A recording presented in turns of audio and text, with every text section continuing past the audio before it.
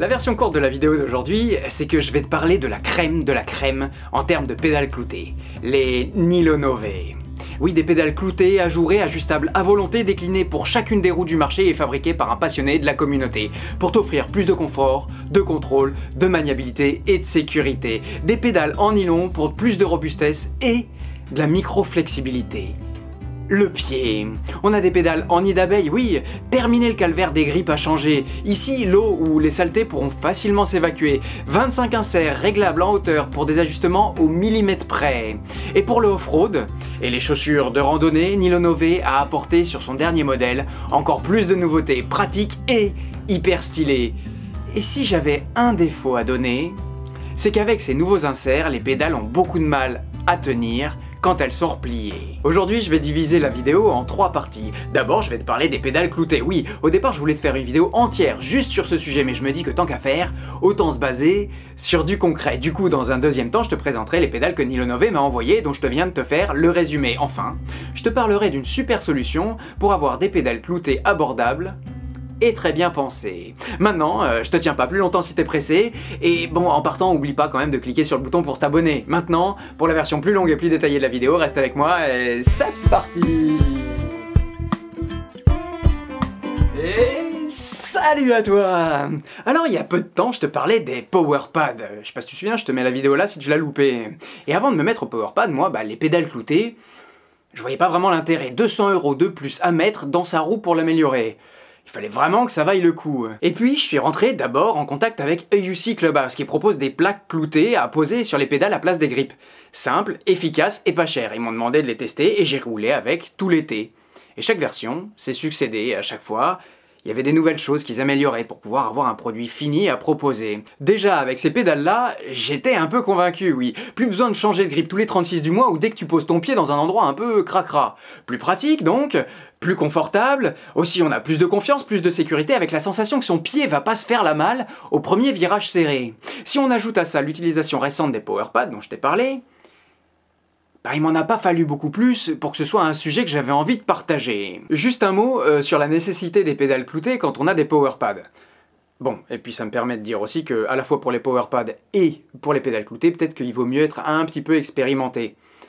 Oui, déjà, euh, tu sais, prendre confiance sur des pédales normales, sans powerpad, et puis après, tout rajouter. Peut-être. En tout cas, avec les powerpads, on l'a vu, si ça c'est ma jambe, on crée un point de fixation, un porte-à-faux au niveau du tibia pour avancer, au niveau du mollet pour freiner. ok? Et si le porte-à-faux qu'on a créé avec le PowerPad est solide, bah, il ne faudrait pas que ce soit là, le point d'ancrage, qui se mette à céder.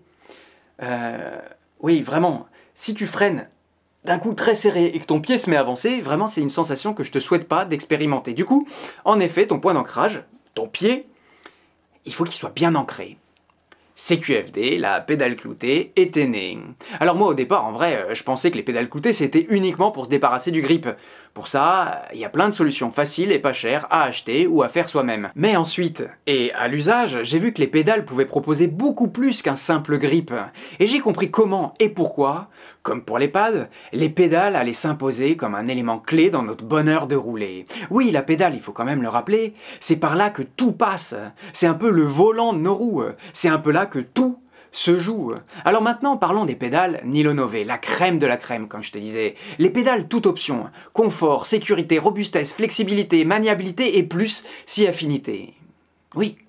Alors au départ, tu reçois un carton avec deux pédales qu'il faut installer. Pour ça, rien de plus simple. Mettons-nous en situation. Alors pour installer les pédales, c'est vraiment pas compliqué. Tu as une partie, deux parties, l'axe, les rondelles, et les protections en bout de tube. Tu commences par mettre l'axe, d'un côté ou de l'autre, peu importe. Tu le fais dépasser un tout petit peu. Pour pouvoir mettre... Voilà, j'ai trop fait dépasser. Pour pouvoir mettre la pièce de support. Ça, c'est une pièce qui sert pour l'inclinaison des pédales, tu vois. Bref, tu la mets.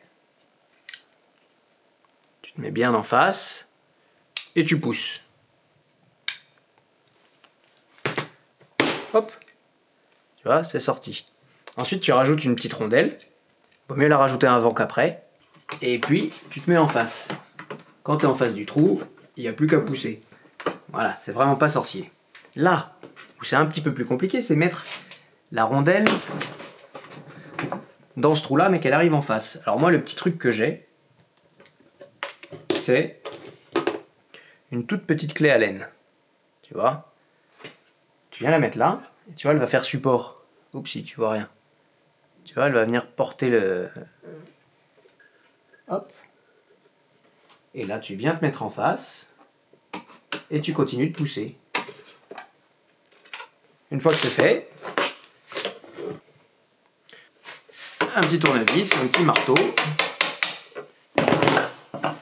Et puis pour terminer, euh, tournevis et marteau, euh, c'était hors champ, mais, on est d'accord que c'est pas plus compliqué que ça. Ensuite, tu mets ton embout sur ta clé Allen. Beaucoup plus facile avec un tournevis qu'avec une clé Allen euh, parce que ça va venir embuter. Enfin là peut-être pas mais. Et puis tu commences à visser. Franchement c'est pas sorcier. Hein pas trop loin, pas trop près. Quand ça commence à forcer, t'arrêtes et tu fais la même chose de l'autre côté. Quand c'est terminé, tu peux aller rouler. Les pédales, comme leur nom l'indique, sont en nylon.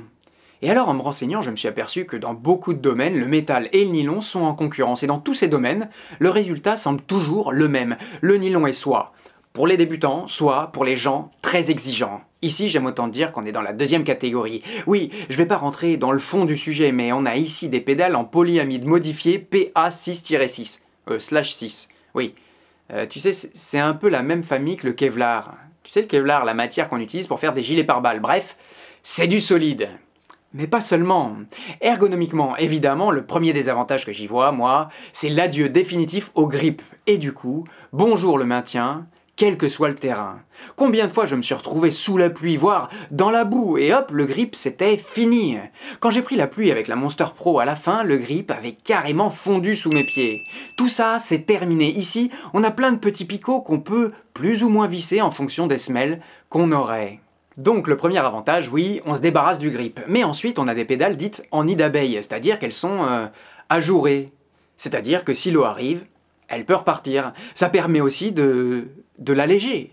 L'inconvénient de ces pédales aérées, en off-road, c'est que si on se prend une branche, elle va pas glisser sur la pédale, non, elle, risque de se planter, et on va pas vraiment pouvoir euh, l'évacuer. Mais sinon, vraiment, et c'est pas juste pour le dire, ces pédales, c'est le pied, on a des pédales plus grandes, de 27 cm par 13 de large, et puis moins lourdes, et pourtant tout aussi résistantes.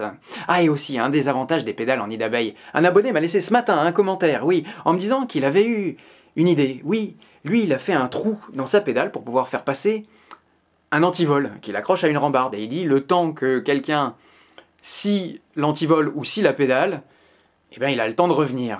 Tu vois?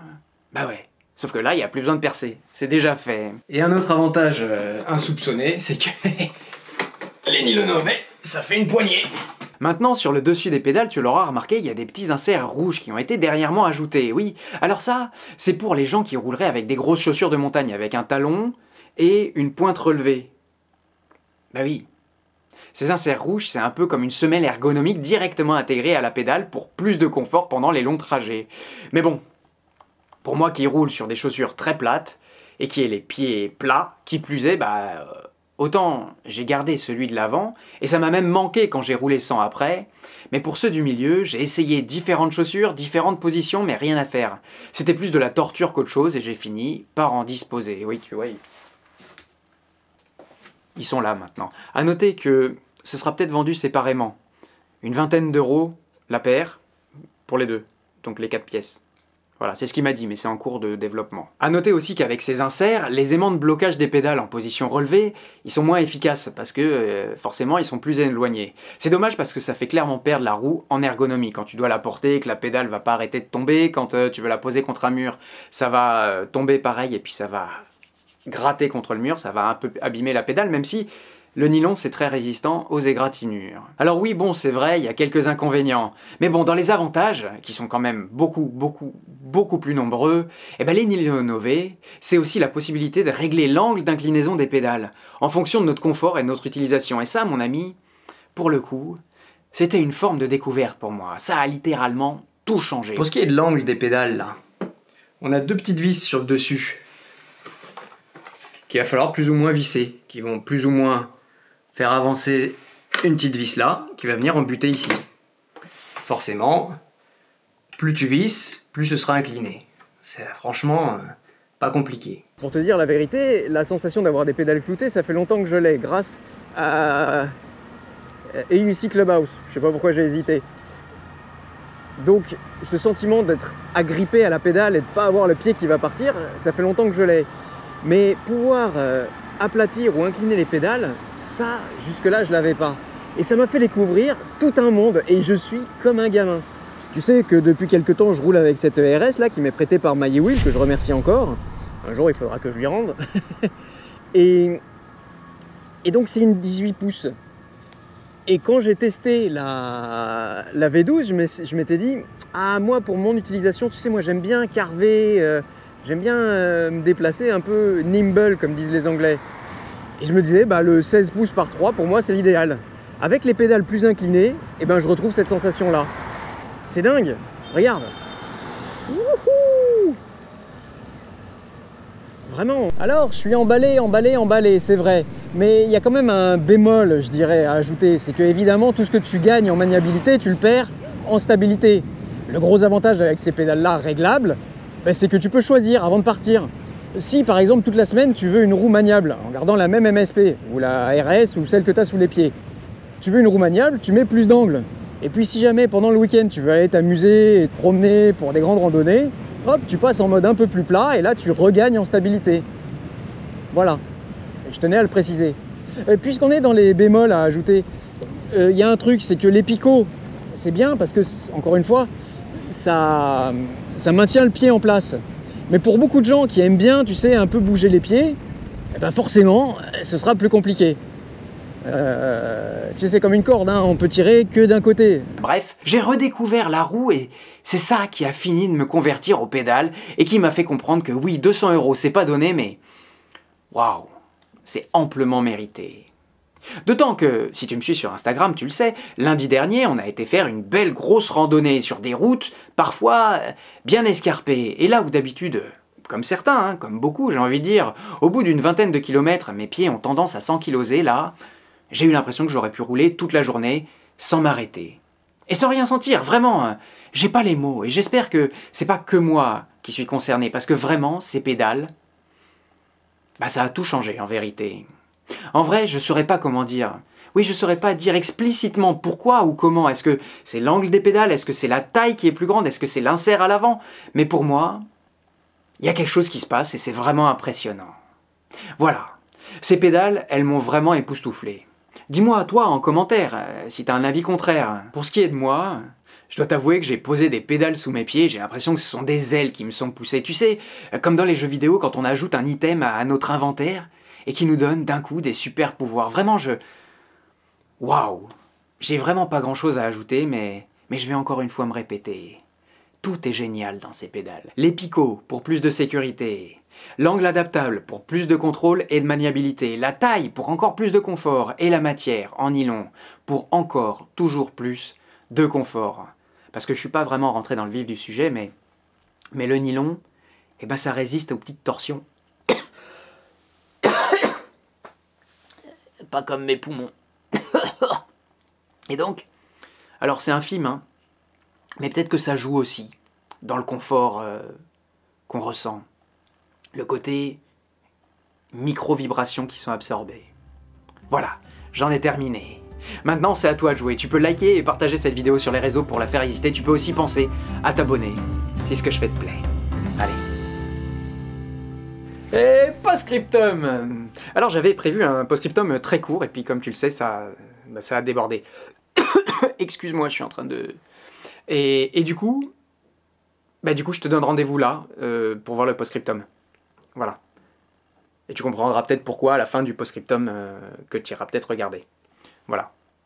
Je vais pas répéter ce que tu vas peut-être entendre y. Si quand même, en rapport avec les Nilo Nové, je voulais dire que bah, cette vidéo n'est pas sponsorisée, blablabla. Sauf que si, elle est un peu sponsorisée parce que Nilo Nové m'a envoyé la pédale pour que je la teste, enfin les pédales pour que je les teste, mais il a aucune visibilité, il m'a pas payé pour faire cette review, même si j'ai fait une bonne review. Tout le monde sait que ces pédales-là sont super, moi je me permets juste de, le dire et d'en faire une vidéo et essayer d'analyser pourquoi, comment. Euh, Voilà, mais il a aucune vision sur, sur la vidéo. Il la découvrira en même temps que toi, peut-être même après, parce que bah, il parle peut-être pas français, du coup il va falloir attendre qu'il y ait la traduction. Comme Franck, voilà, c'est juste des gens passionnés qui aiment leur métier, qui font des bons objets et j'ai envie de partager. Et encore une fois, si les objets étaient pas terribles, bien, bah, je te le dirais ou alors je te le dirais peut-être pas, on n'en parlerait pas. Voilà. Euh, Rendez-vous là-bas. Ciao